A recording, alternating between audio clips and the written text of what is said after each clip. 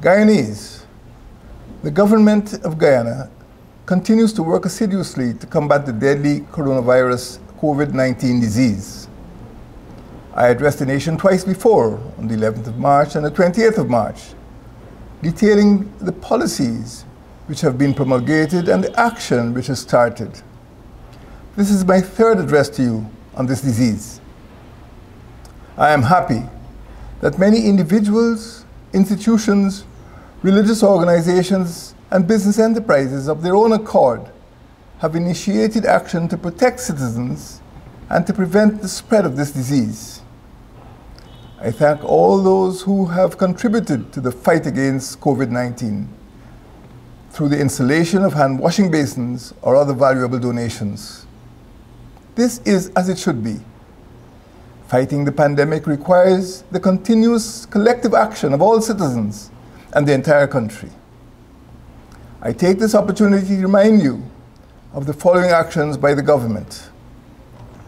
The extraordinary issue of the Official Gazette, published on the 16th of March, aims at protecting the health and safety of all Guyanese and empowers the Minister of Public Health to take certain actions which have already been in force.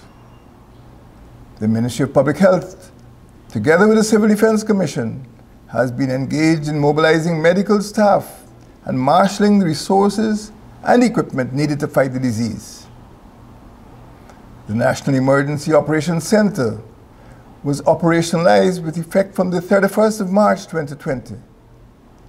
The activation of the NEOC is aimed at ensuring the highest level of collaboration among stakeholders and to further prevent the spread, enhance preparation, and strengthen national response to the disease. The National COVID 19 Task Force, headed by the Prime Minister, includes the Attorney General and Ministers of Public Health, Public Security, Finance, Foreign Affairs, Education, communities, public infrastructure, natural resources, and citizenship. Was established on the 12th of March and completed a national response to the coronavirus disease. Some of these measures will take effect from Friday, 3rd of April 2020. National quarantine and isolation facilities have been established at the West Demerara Regional Hospital the East Bank Demerara Hospital at Diamond, the Diamond Diagnostic Center, the Georgetown Public Hospital, the Temeri Madiwini Youth Center, the East Coast Demerara Ocean View International Hotel, the Cliff Anderson Sports Center, and the National Gymnasium. These facilities collectively will be able to accommodate more than 1,000 persons. Guyanese. I iterate the need for all citizens in all parts of the country to adopt the many advisories that have been issued by the Ministry of Public Health and the National Task Force, including avoidance of leaving home, avoidance of gatherings of more than five persons, avoidance of visiting sick persons, avoidance of touching other persons, avoidance of touching parts of your own faces, and washing hands frequently and thoroughly in water. COVID 19 is a global pandemic for which there is no vaccination or cure.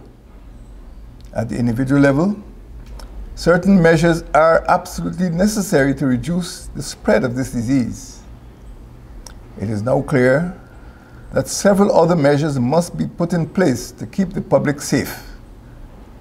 The national response to the coronavirus 2019 has been crafted and a draft has been disseminated.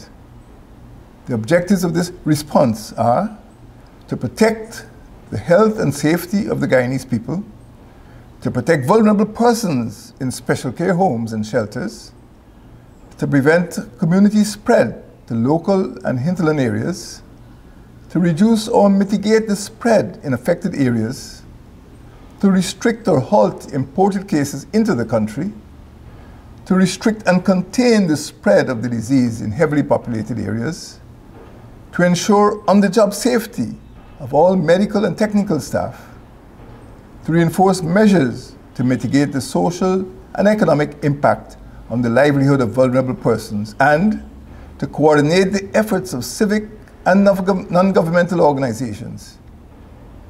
Several measures aimed at limiting social contact are already in force. The University of Guyana's campuses and other schools have been closed. National Grade 6 assessment examinations have been postponed and new dates will be announced. The Cheddi Jagan and the Eugene F. Correa International Airports have suspended operations until May 2020. Seaports have been closed to international vessels except merchant ships from the 21st of March. Travel to countries which border Guyana has been suspended. Public servants have been placed on a rotational shift system of duty. The Guyana Revenue Authority has waived the value-added tax on medical supplies associated with the testing, prevention, and treatment of COVID-19, and visitation at the Palms Geriatric Home, the night shelter, the New Opportunity Corps, and the Hugo Chavez Rehabilitation and Reintegration Center has been suspended until further notice. The measures that have already been implemented will remain in place until further notice.